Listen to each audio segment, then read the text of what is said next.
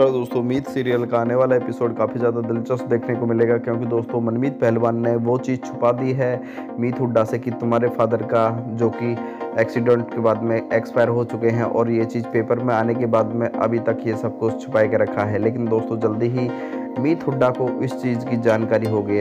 हालाँकि अभी तक एक पूजा में बैठी हुई है, जिसमें सगुन भी बैठी हुई है और सगुन बहुत बड़ी प्लानिंग कर रही है, वो भी मीत हुड्डा के साथ में। क्योंकि मीत हुड्डा के साथ में ऐसी प्लानिंग करेगी, वो किसी ने सोचा भी नहीं था दोस्तों। आप लोग जानते ही हैं कि मीत हुड्डा के खिलाफ हमेशा से ही कोई ना कोई प्लानिंग करता हुआ नज़र आया है, लेकिन इस बार सगुन जो प्लानिंग कर रही है, वो बहुत ही घिनौनी है। हालाँकि मीत हुड्डा को इस चीज़ से फ़र्क नहीं पड़ता कि कौन क्या कैसे रस्म कर रहा है, क्योंकि मनमीत पहलवान अब दिल से जो साथ दे रहे हैं, वो मीत हुड्डा का ही दे रहे हैं, ताकि मीत हुड्डा को किसी भी तरीक़ा की कोई तकलीफ़ का सामना ना करना पड़े। और ये तकलीफ़ का सामना मीत हुड्डा को कैसे करना पड़ रहा है, इस चीज़ का ऑफिशियल सभी को पता लग ही चुका है।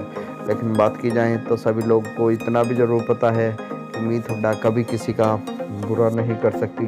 चाह कर भी बुरा नहीं कर सकती। वहीं दोस्तों बात की जाए यशोदा की, जो मनमीत पहलवान की मोम है, यशोदा, वो भी कभी किसी का अब बुरा नहीं चाहती, क्योंकि जब से मीत हुड्डा ने उनके साथ में, उनके पक्ष में केस लड़ा है, क्योंकि मीत हुड्डा ने ये तक बोल दिया था सरकार से कि अगर किसी भी तरीक़ा से मम्मी जी को कुछ भी दिक्कत होती है तो मैं तुम्हारी बैंड बजा दूँगी। और वाकई दोस्तों, आप लोग जानते ही हैं कि मीत हुड्डा वाकई में मनमीत पहलवान की मोम यशोदा के लिए कंधे से कंधे मिलाकर खड़ी हुई नज़र आई थी, ताकि इनको किसी भी तरीक़ा से प्रॉब्लम का सामना ना करना पड़े।